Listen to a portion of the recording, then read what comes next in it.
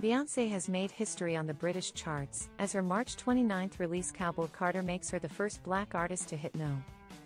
1 with a country album on the UK's official albums chart.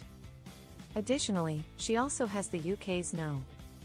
1 single with Texas Hold'em, thus cementing the achievement as the first artist ever to attain a UK official chart double with a country album and a country single.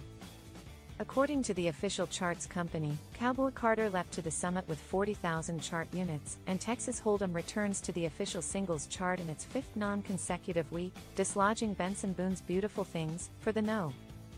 1 position. Beyonce is no stranger to an official chart double. She held the official albums and singles charts simultaneously in 2003 with her debut solo album Dangerously in Love, which went 4x platinum, according to the British phonographic industry, and the single Crazy in Love Foot. Jay-Z, which went 3x platinum. The current environment surrounding her acceptance into country music has seesawed from face palms to open arms. Beyonce bluntly acknowledged the difficulties she's faced since she released 2016's Daddy Lessons from her critical and commercial success Lemonade. While she took to the stage with the Chicks at that year's Country Music Association Awards to perform the song, the CMAs received backlash for the performance, wiped the set from their online portal, and then received even more negativity for seemingly caving in and finally reinstated the video on their site. Back in the US, Cowboy Carter is all but assured to land on top the Billboard 200 when numbers are released early next week.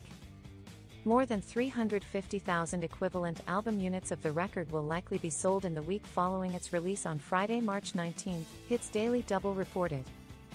The LP is also expected to rack up between 250 and 300 million streams.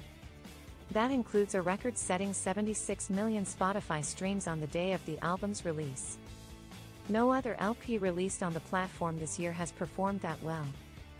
One-time Beatle Paul McCartney was among the album's many admirers, lauding her cover of his standard Blackbird. I am so happy with Beyonce's version of my song Blackbird, McCartney said in an Instagram post on Thursday, April 4th. I think she does a magnificent version of it and it reinforces the civil rights message that inspired me to write the song in the first place, he added.